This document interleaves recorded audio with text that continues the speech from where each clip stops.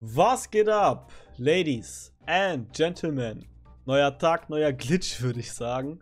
Diesmal eine noch schnellere Methode, eure Boxen zu klonen, ja.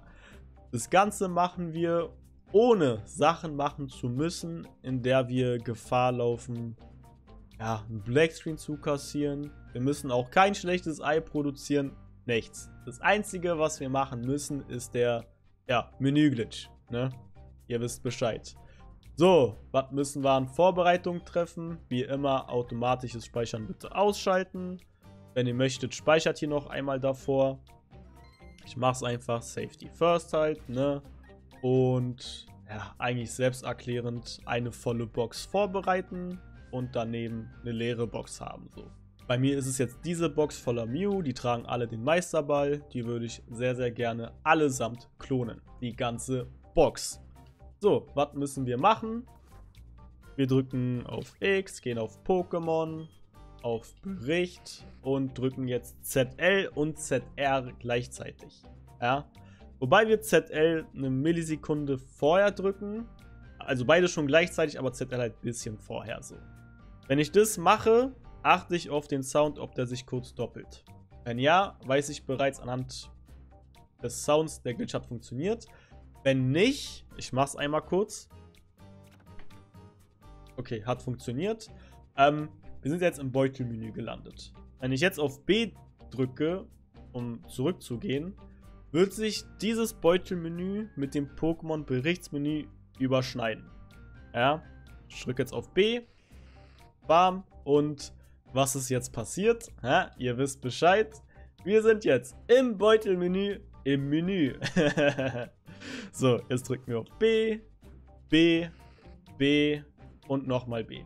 Jetzt sind wir auf der Overworld und ihr seht, ich kann mich auf der Overworld bewegen und im Menü auch Sachen auswählen. Ja, und jetzt geht der Glitch los. Wir gehen auf Pokémon. Wir drücken auf R, um auf die PC-Boxen zu gelangen. Wir drücken A auf ja, irgendein Pokémon, was in der Box ist. Jetzt drücken wir X, Jetzt drücken wir nochmal A. Jetzt drücken wir nochmal R, um auf die PC-Boxen erneut zu gelangen. Jetzt zweimal Y und die ganze Box auswählen. Jetzt BAM auf die neue Box hauen. Fertig. Das einzige, was wir jetzt noch machen müssen, um den Glitch abzuschließen, ist auf B zu drücken. Nochmal auf B zu drücken. Nochmal auf B zu drücken und hier auf Bericht zu gehen. Fertig.